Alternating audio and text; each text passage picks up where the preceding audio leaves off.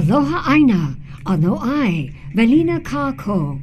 Welcome to Free Hawaii News, brought to you by the Koani Foundation, presenting Hawaiian perspectives on a broad range of topics and issues affecting the Hawaiian Islands, the Pacific, and the world.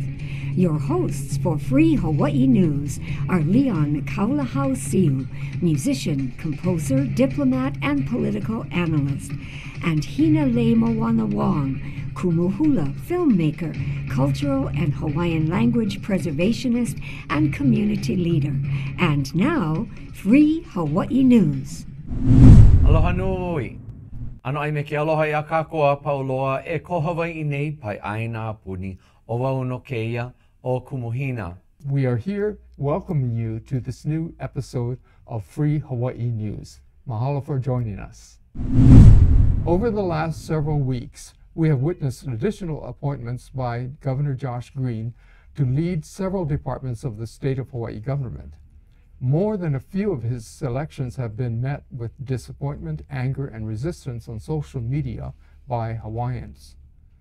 Specifically, those departments that directly affect Hawaiians, such as the Department of Hawaiian Homelands and the Board of Land and Natural Resources. To find out why Kanaka are upset about these selections by Governor Green, we now go to Hawaiian activist Healani Sonoda Pale to learn more. Aloha, Healani. Aloha, uh, Kumuhina, and aloha, Leon. Wonderful to see you again. Can you explain to us why so many Hawaiians are upset about some of Governor Josh Green's appointments? Josh Green, our new governor, has not been paying attention and listening to the people of Hawaii with a lot of his appointments. Uh, he needs to appoint people based on their qualifications and not on their relationship to him. There are a few good ones that he's he's done, uh, like Laura Ka'akua at DLNR, great um, appointment. But then when you look at what's happening at DHHL, that's very problematic. What's going on there? It seems like there's a giant disconnect between his administration and Hawaiians. Why? With Governor Green, I feel that he has not surrounded himself with um, the people are have been engaged in the community um, in a positive way, and so I, I you know, and I'm I, maybe it's because Governor Green wants you know wants to try something different and bring in new people but really you need people who can just hit the ground running. And with some of his appointments not all with some of his appointments um either they're not qualified or they come with tons of baggage and when the baggage becomes an obstacle to getting things done then you know that appointment is not going to be good for our people, for our Lahui, and for the Kanaka Maoli people. So when you look at now his new um, appointment, the new person he put forward for the Department of Hawaiian Homelands, Kali Watson, yes, he's built homes. Yes, he has all this experience, but the baggage this guy brings to the department will bring so much controversy. It will make the department um, um, it, will make it, it won't help the department. Let's just put it that way. It will it would be an obstacle to getting things done. Um, you know, he has the last time he was in charge of the Department of Hawaiian Homelands, you know, there was a homesteader on Kauai that burnt his own home and um, ended up passing away um, because they were trying. His he was trying to evict him, and then you have um, all of these accusations coming out now about um, how much money his nonprofit really made off of the Department of Hawaiian Homelands um, leases that he got and why he didn't pay his rent on time. When you bring that much baggage with you into um, a department that is probably the most important department right now, that now has to spend $600 million, you know, by 2025, then, you know, this is this is like a really bad choice. It's clear it's a bad choice. There are other qualified candidates. We have so many educated Kanaka Maoli out there. We have so many um, people who have the experience, who have the know-how, who have the degrees, who have been working in the community that can do the job. Uh, we don't have to keep bringing these and re- recycling these guys, you know, to lead these important departments that will is supposed to be housing our people.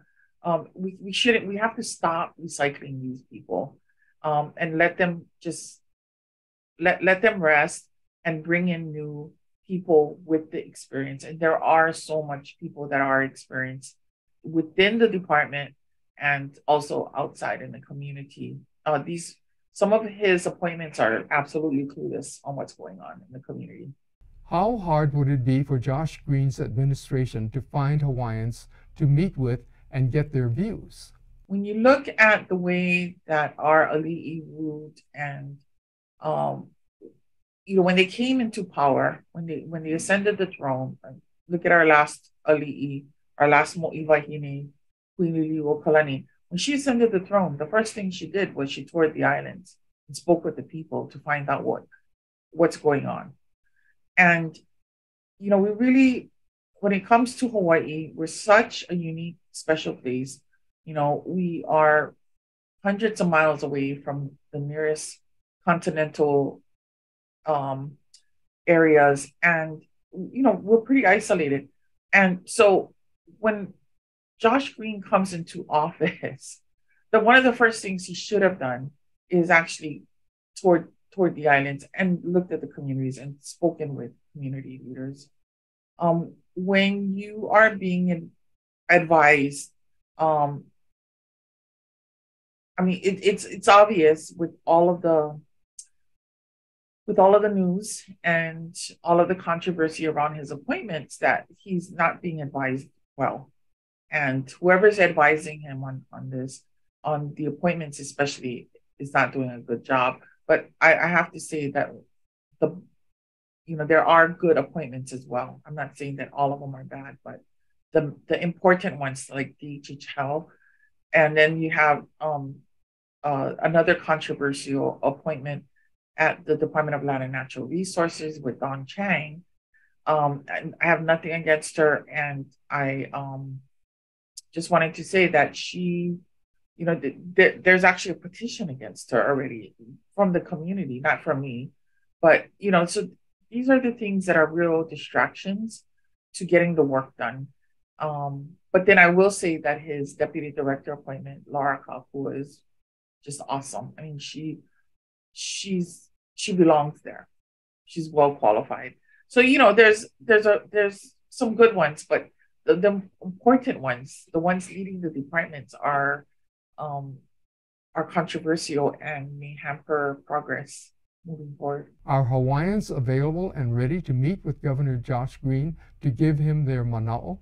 Hawaiians are totally ready.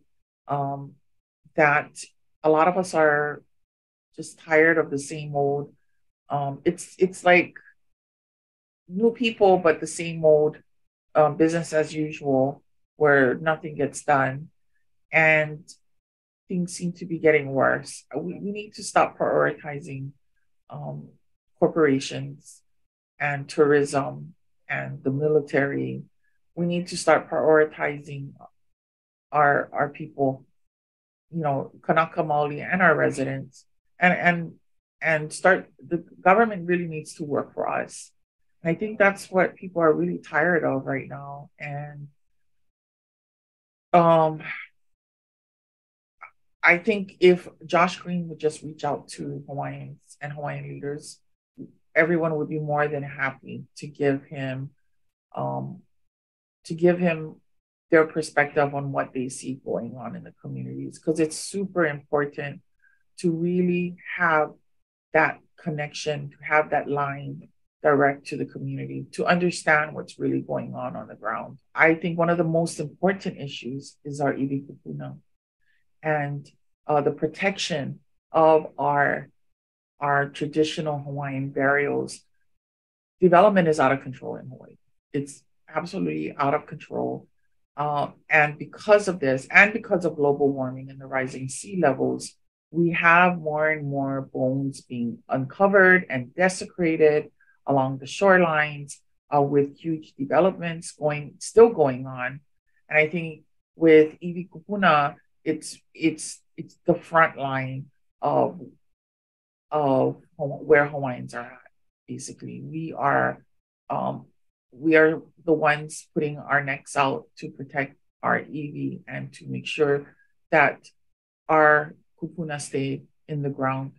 Um, because desecration is is a crime, but nobody's there. There are no um, consequences for developers, um, for builders, for anyone who desecrates a traditional Hawaiian grave, iwi kupuna.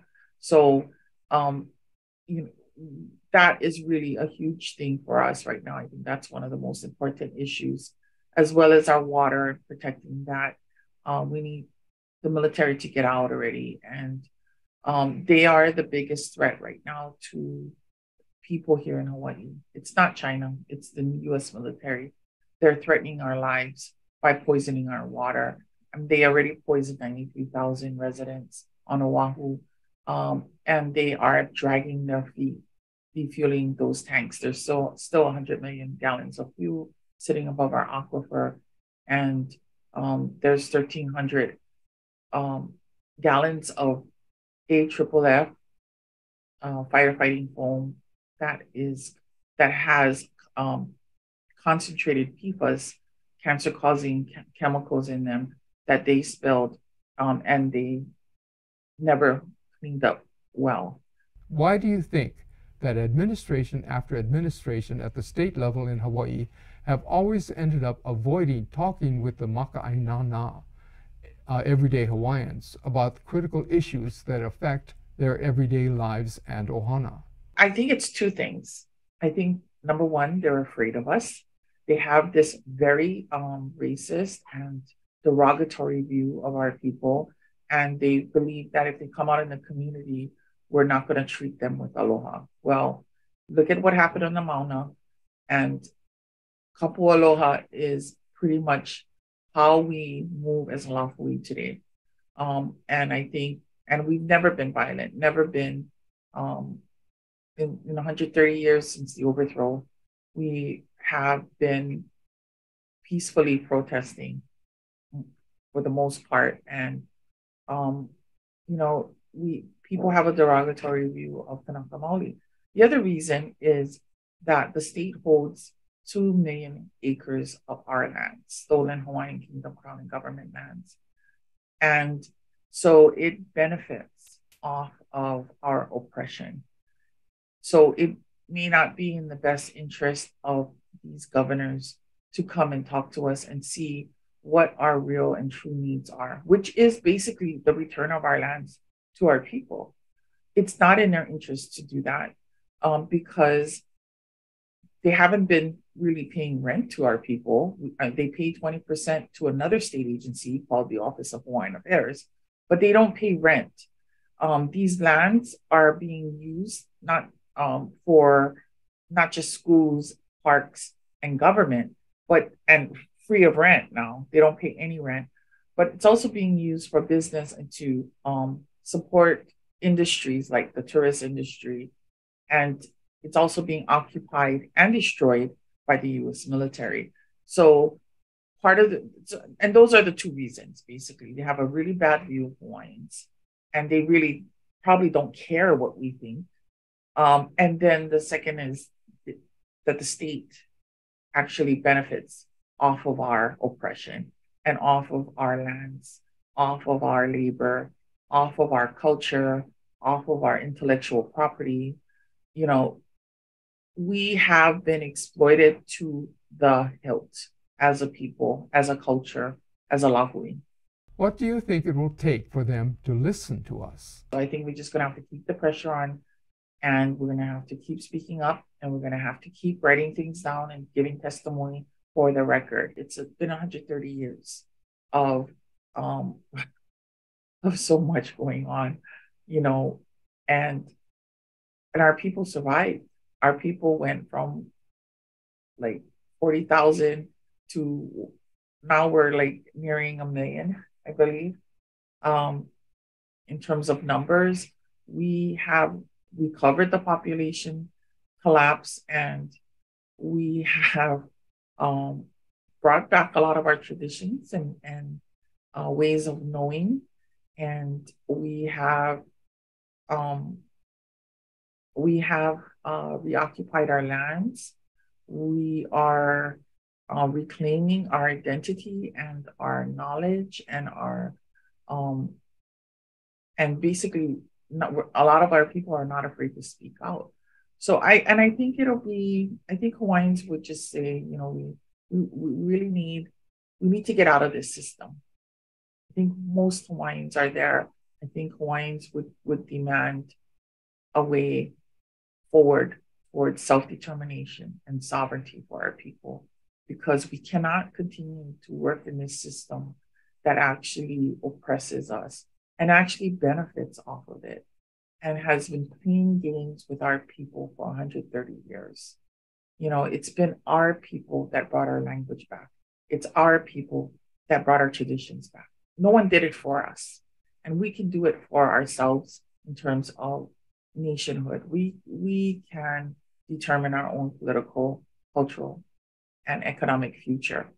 And we should be given that opportunity. And I think Hawaiians, if faced with with Governor Green, they would tell him that. They would say, We're done. We're done with the state of Hawaii. We're done with the United States, the US military. We need to we need a way forward towards self-determination and self-governance and sovereignty and not a way and, and, and not the way that the, the state directs us. It, it has to come from our people. It needs to come from us. We've done it ourselves. We've saved our language. We've saved our culture we recovered our population. We did it ourselves. No one did it for us. Mahalo Healani for your mana'o in, on this topic, and we just uh, want to thank you for all of that you do in every day for, for the Lahui. So mahalo nui loa. Of particular interest at this current point for the island of Maui, we are seeing several issues that have to deal with luxury boats and this is causing a stir in the community. Luxury boats grounded on the reefs off Maui is once again in the news. The luxury yacht Nakoa was stuck on the reef for weeks at Honolua Bay recently. As a result, 120 coral colonies spanning over 20,000 square feet were damaged. This is both a Hawaiian cultural issue as well as an ecological disaster that is raising concerns and tensions with Maui residents alike. Many say not enough is being done to protect Maui's shoreline as well as to prepare for storms. Recently, two more boats have broken from their moorings and one is now leaking fuel. Island residents say it's a long time problem. The Lahaina community is upset with boats that continue to get grounded on the reefs. One has leaked diesel fuel on the reef at Mala, which is where Hawaiians go to harvest limu, or as we say in English, seaweed. The reef at Mala is a major food source for Hawaiians and for our diet. The Lahaina community has been complaining for well over a decade about beached boats. And every time there's a storm with Kona winds, more boats end up on the shoreline, damaging reefs in the process, and either fuel or antifreeze ending up spilling and poisoning the reefs. Island residents of Maui say they have contacted Department of Land and Natural Resources officials numerous times in the past about this issue, but that DLNR has not taken any action this issue is an easy fix and totally preventable. For me, whenever I hear about the name and the island of Maui, my ears perk up as I and many of you out there in the community, we have mo'oku'auhau, we have genealogical ties to the island of Maui, and especially for me, they're on the west side. And so we at Free Hawaii News will be watching closely what takes place and how these situations are going to be mitigated. So, Leon, um, tell me your thoughts. Uh, you've seen this uh, play out in the news and you've seen the boats. They are stuck there on the reef areas. Uh, mm-hmm. What are your sentiments? Of course, uh, Lahaina is the, the old whaling uh, capital of the world at one time. And uh, it's always had problems with boats that come in and, and do harm in the area. So back in the eight, uh, 19th century, when whaling was at its peak, there were hundreds of whale, whalers that anchored off Lahaina. And of course, they ran havoc over the islands uh, when they came ashore. And so this has been uh, a big problem ever since. So now, even though there are no whalers there, we still have boats uh, being destructive in, in many ways. Now, a lot of them are, of course, people who don't mean to be destructive, and, and they have uh, you know, anchored there thinking that this is a nice, safe place to anchor their boats and, and to enjoy Maui and things like that. But at the same time, uh, it is causing damage and destruction. So something really needs to be done to manage that properly so that boats do not come loose and start and destroy the, the, the reefs. And so that there's some sense of order and some sense of responsibility uh, to take care of things there in Lahaina. So uh, this is a very, very yes. long-standing problem. Absolutely. And, and, you know, I would add to this that this is why it's extremely important to have Kanaka, and, and if not Kanaka, uh, we need to have those whom are astute in understanding our cultural values and our cultural views and concepts so that way we can ensure that maintenance of as as people in politics refer to it as land and natural resources but as we speak about it from the perspective of Kanaka this is Papahanaumoku Mm-hmm. Another name synonymous with Papahanaumoku is Haumea. And this is why we must have regard for the land as well as the ocean, for they represent our makua.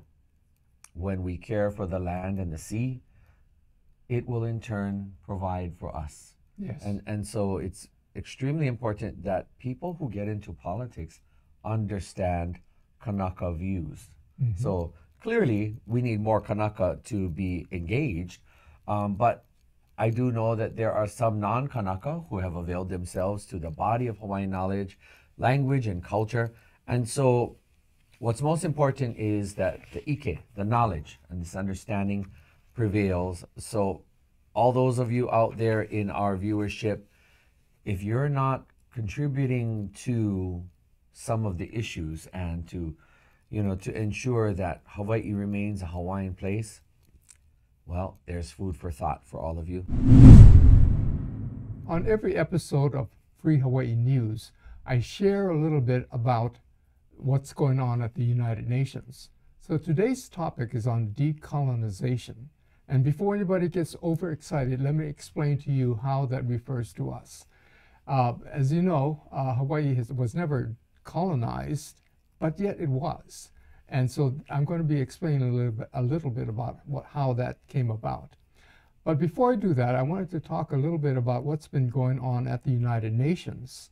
Over the last 30 years, uh, there's been really a lot of attention being paid or attention being raised, started to be raised, and then developed at the United Nations regarding indigenous peoples.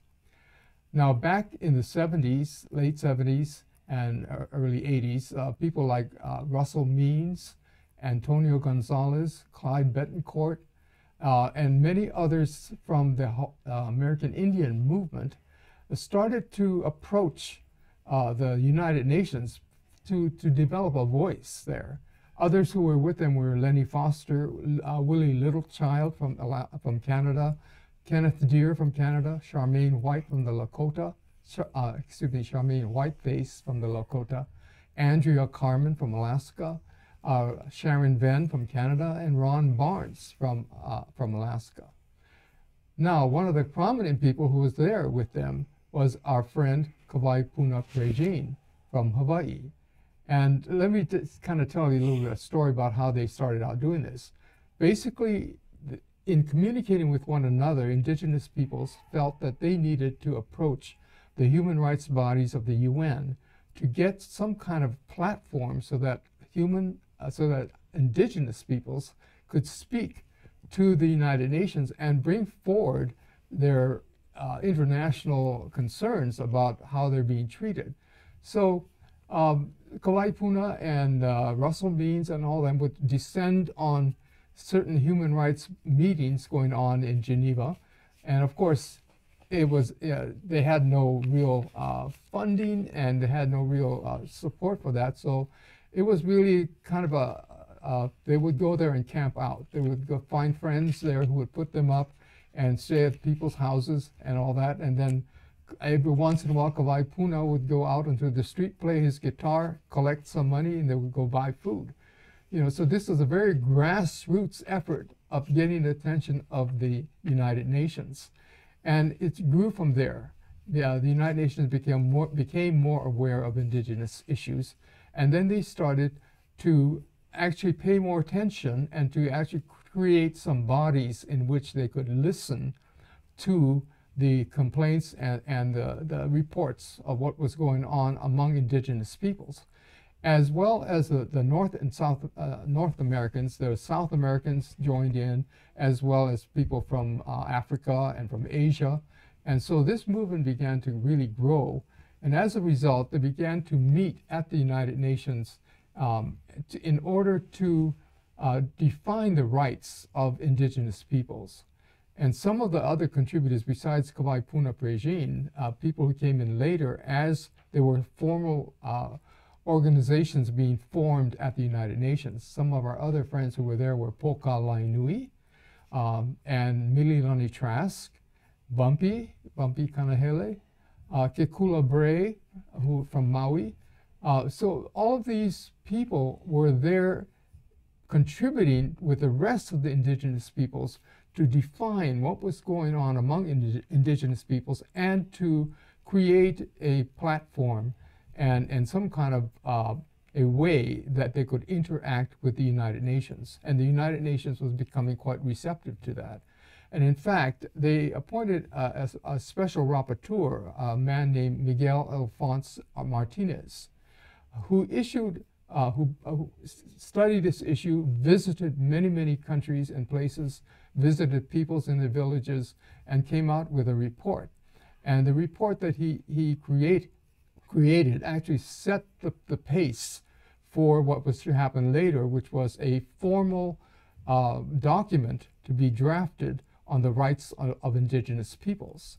So that document was about 20 years in the making. And again, people like uh, Mililani Trask and Poka Laenui and others contributed quite significantly to the drafting of those uh, indigenous peoples' rights.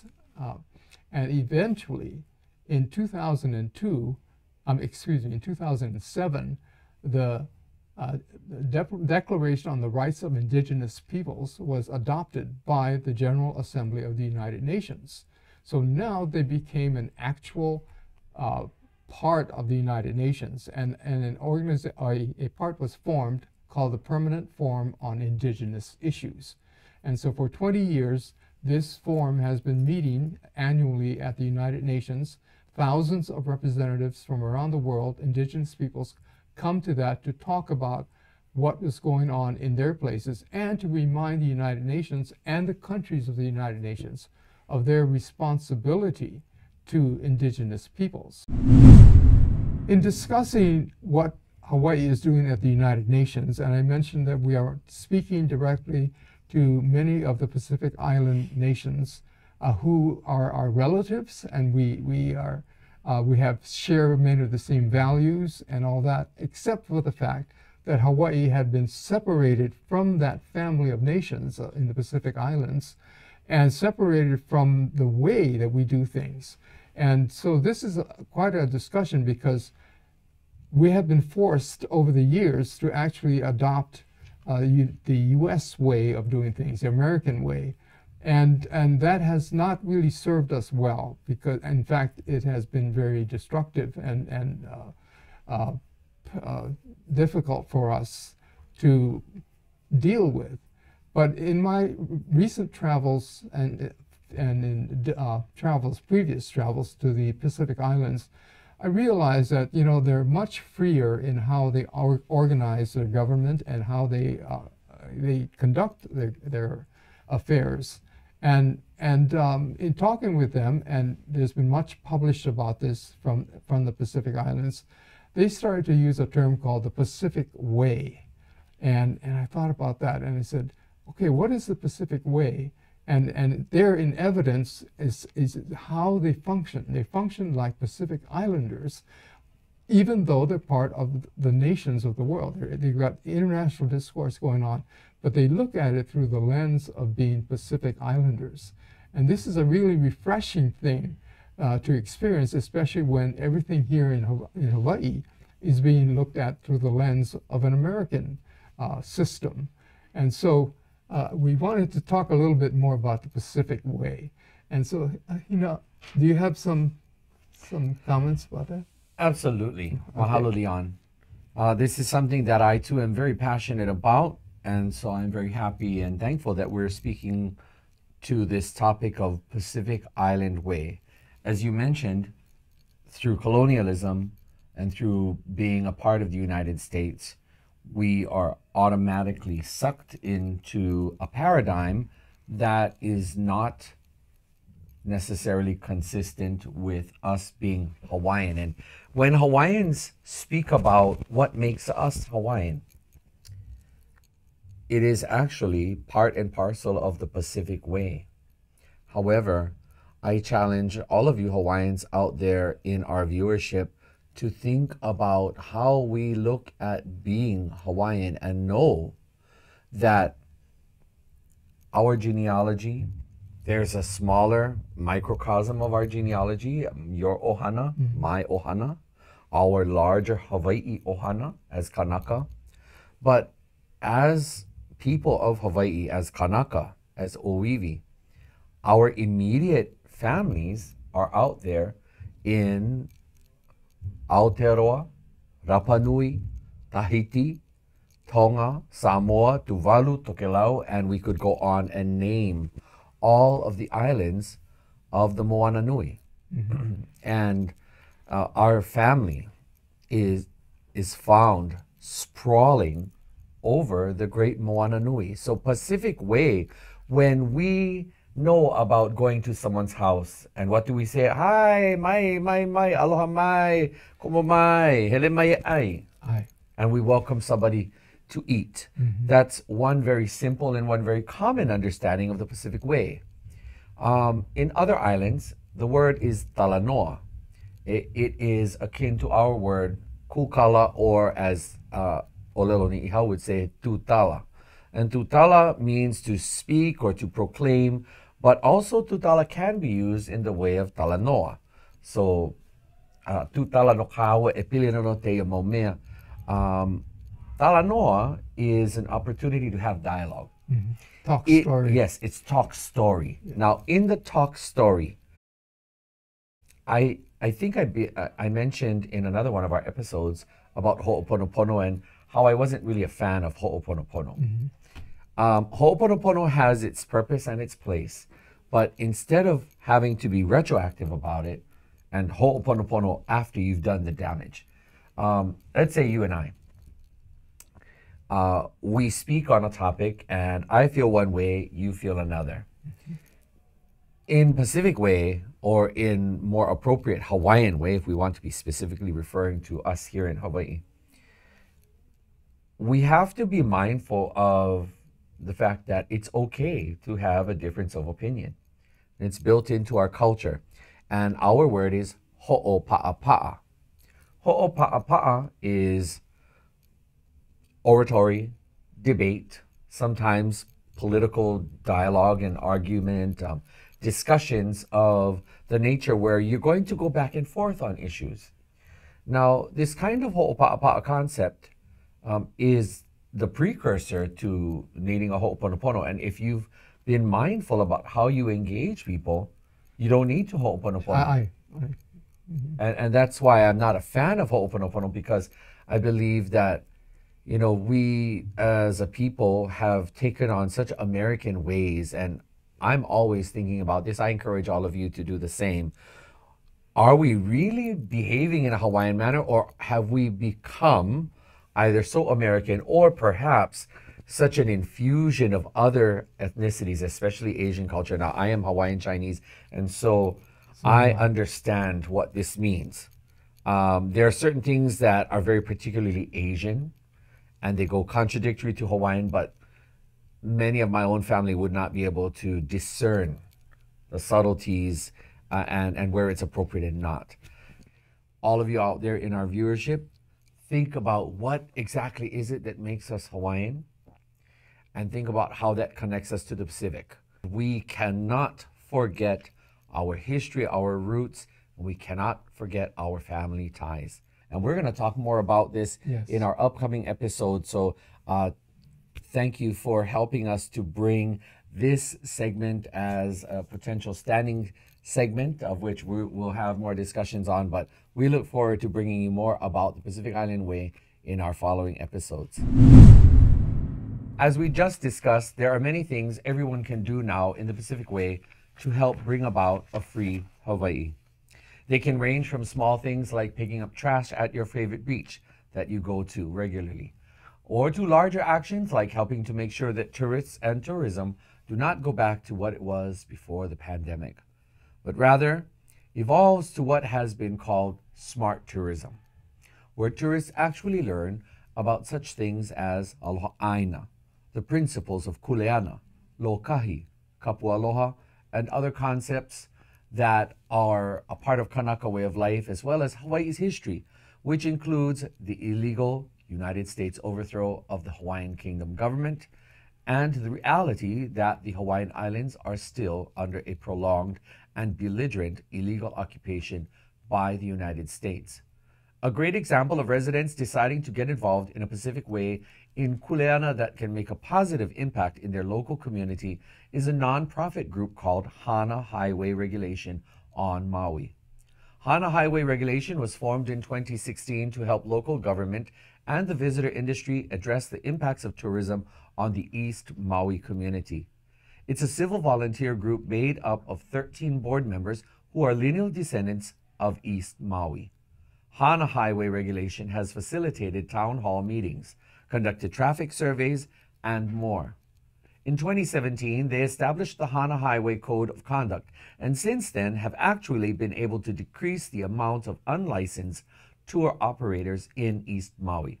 To tell us more, we go now to Maui, where Hana Highway Regulation Administrator and Community Coordinator Napua Hu'eu is standing by. Aloha aina kawa e Napua. Welcome to Free Hawaii News. Aloha Hina, aloha Leon. Great to see you guys. Mahalo so much for hosting. Tell us, Napua, how did Hana Highway Regulation get started?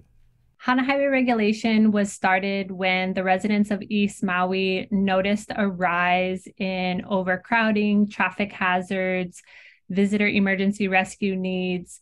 Um, the East Maui community came together with many of our veteran commercial ground tour operators to talk about these issues. Uh, some of the ground tour operators are very concerned with the rise of unlicensed commercial operators. These are illegal tour operators that facilitate activities and experiences along the road to Hana without the correct permits, licenses, insurances, and therefore they are alleviated from paying into state of Hawaii taxation. And now this causes economic impact for the state who cannot provide the maintenance for our highways, facilities, parks, etc. And it also causes an economic impact within our local economy as these illegal tour operators don't have as much of an overhead cost to operate. And so it causes some unfair, inequitable dynamics for our legal ground transportation tour providers who are paying into all of those permits, insurances, and licenses. So we came together in 2016 to talk about these issues. And from there, we've uh, started HANA Highway regulation and have been at it ever since. Can you tell us about your visitor information personnel concept? Our visitor information personnel concept places generational residents from East Maui at the various hotspots that have been identified within East Maui.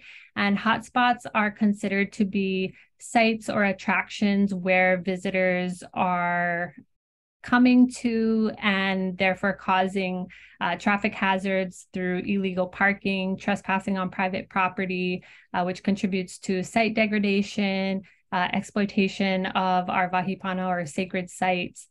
And our visitor information personnel concept is a way to help place uh, place specific intelligence at those locations to help uh, provide critical visitor information on site. Although the efforts of placing signs have been a great attempt by the state of Hawaii and the visitor industry.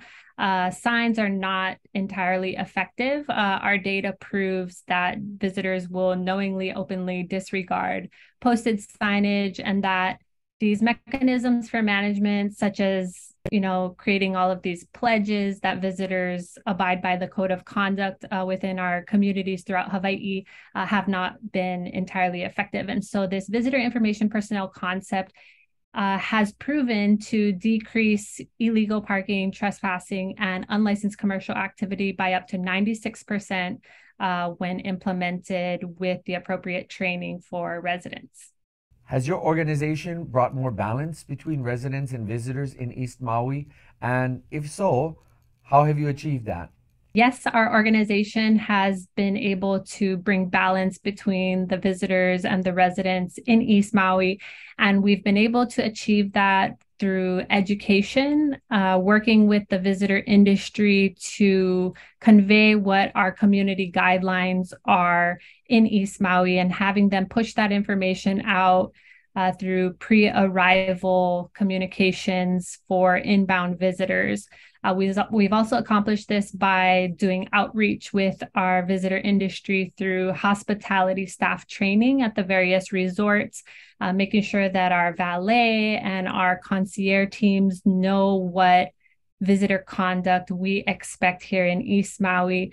And we've also achieved this by providing resident training on effective visitor engagement. And so teaching our residents how to approach visitors, what tone to use when speaking to visitors, and what the critical terminology to employ when speaking to visitors is so that we can get our message across effectively. And oftentimes, when residents are able to articulate um, the code of conduct that we're trying to get out of visitors, and we articulate that in the right way, um, we are met with a positive and pono outcome on the visitor end.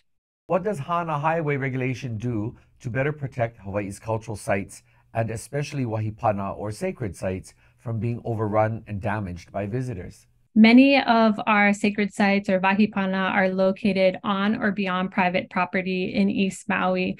And so by implementing our visitor information personnel concept, we are able to prevent illegal parking and trespassing from happening, which thereby diminishes the site degradation that we're seeing at some of our sacred sites uh, here in East Maui. So by curbing the initial issue, we're able to alleviate the larger issues from transpiring, which is the site degradation, but also the emergency rescue needs. A lot of the helicopter you know assistance that's required to get visitors out of questionable situations or emergency situations are diminished by making sure that we don't allow the visitors to illegally park and trespass to begin with Another way that we protect Hawaii's or East Maui's cultural sites is through our web surveillance committee. We have a team of residents who monitor the social media channels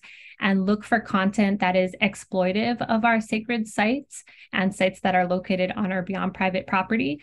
And we do engagement online with the social media influencers and the digital content creators, asking them to bring this content off of the internet and we provide all the reasons why they should do so historical information, cultural information. And we have a decent success rate of being able to have um, these large scale influencers and famous uh, content creators bring down content that uh, exploits our cultural sites. And so that is another way that we uh, protect our cultural sites here in East Maui. Is it actually possible to decrease such things as tourist illegal parking, trespassing on private property, damage to cultural and sacred sites, and also do away with unlicensed commercial activity?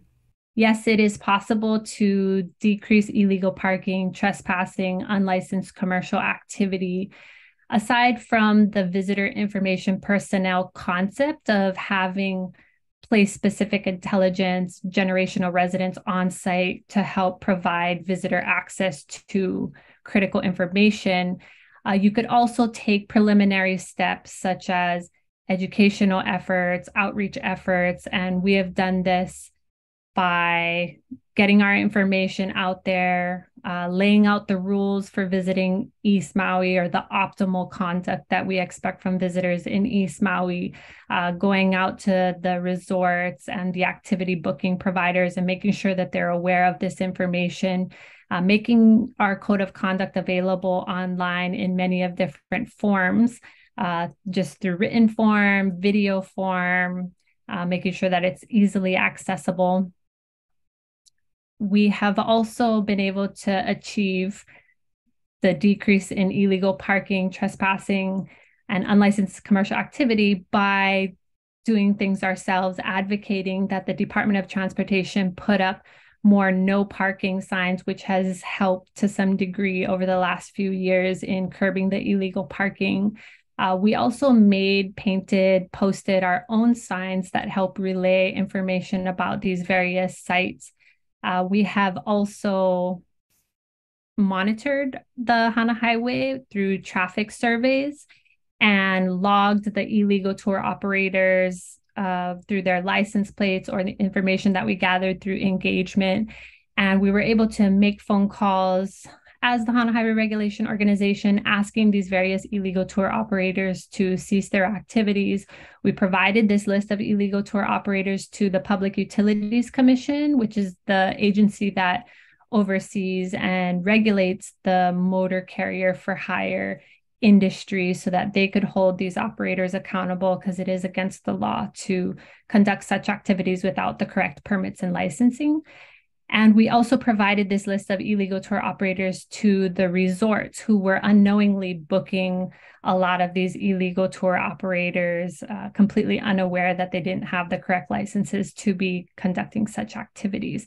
And so there are other steps besides uh, implementing the visitor information personnel concept right off the bat uh, that you can take to help uh, get a handle on the situation have you been able to partner or work with any of the tourism authorities here in Hawaii?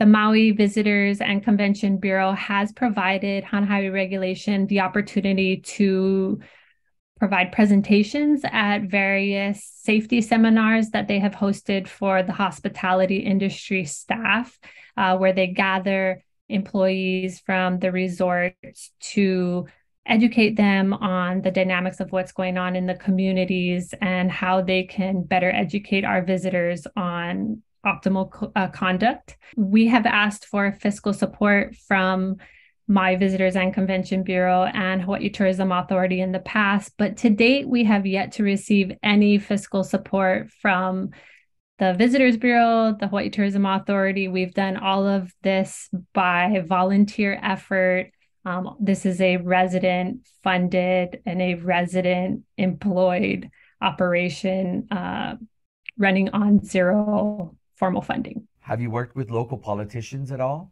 Our County of Maui, East Maui representative on the County Council, Shane Sinenci, has been very supportive of our efforts.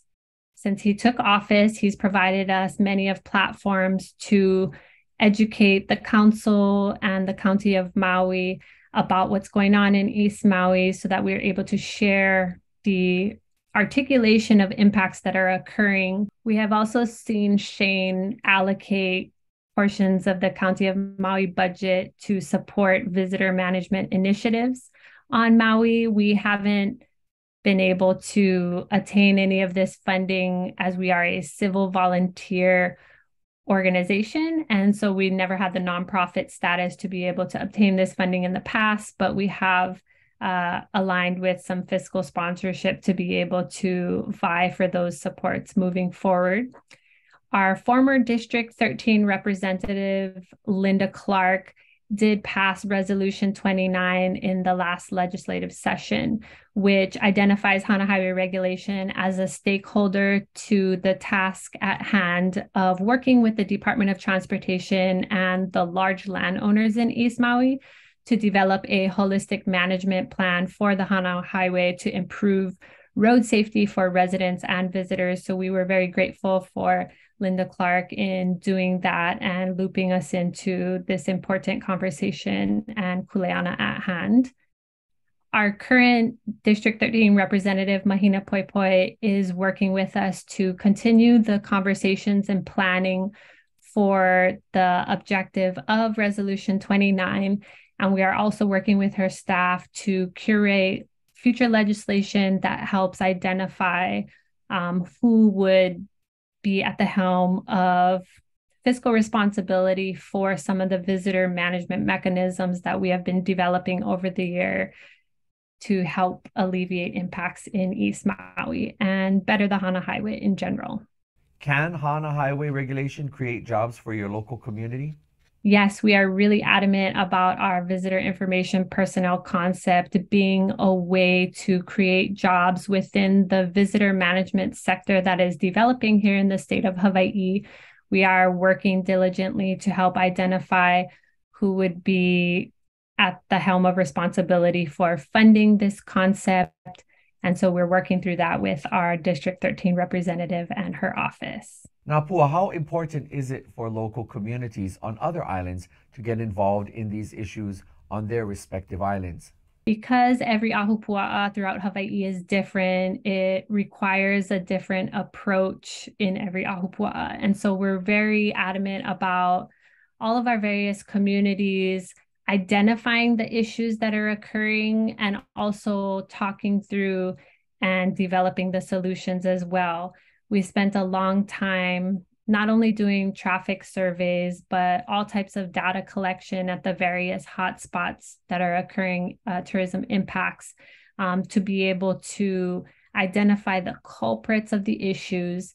And we also spent a lot of time going door to door and facilitating town hall style meetings in East Maui to help gather community input and gauge what type of solutions are already out there in our community that we have been considering for a long time and put that all together to help expedite these solutions for the local government, state of Hawaii, county of Maui, and our visitor industry as well. Can anyone interested use your model or template to create something like this in their communities? On a few occasions, the local government and the visitor industry did try to employ visitor management techniques that they saw in other parts of the nation, other parts of the world. And we feel that it's very important to harness place specific intelligence when developing solutions to help avoid waste of time and taxpayer monies. We've seen a lot of failed trial and error uh, when the state of Hawaii tries to employ solutions that are not derived by the community itself. So we do think it's very important that our communities identify their issues, curate their solutions, and advocate relentlessly that they be supported by the state of Hawaii and the visitor industry here in Hawaii. I highly recommend looking at our website as an inspirational template for other communities who feel the need to address tourism impacts that may be occurring in their area. On our website, we have a page that documents our timeline, all the steps that we took to uh, formalize our advocacy for solutions to be employed here in East Maui.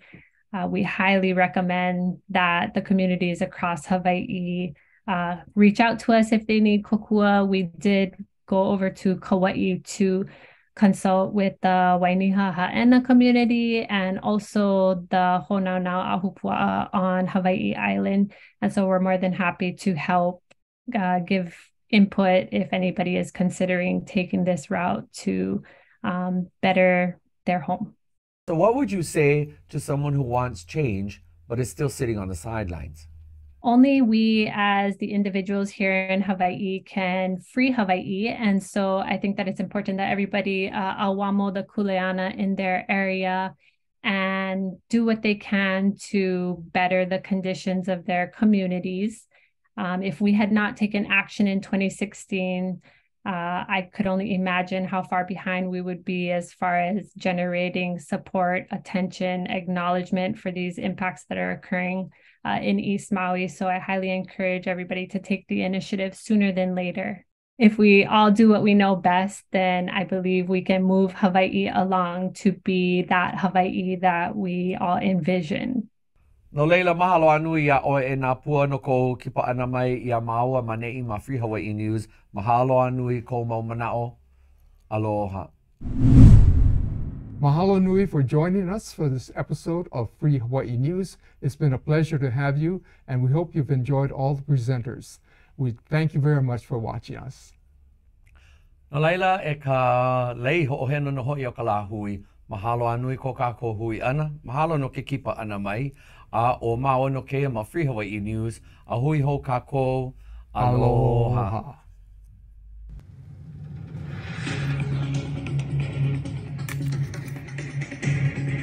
We hope you enjoyed this month's episode of Free Hawaii News. Mahalo for watching.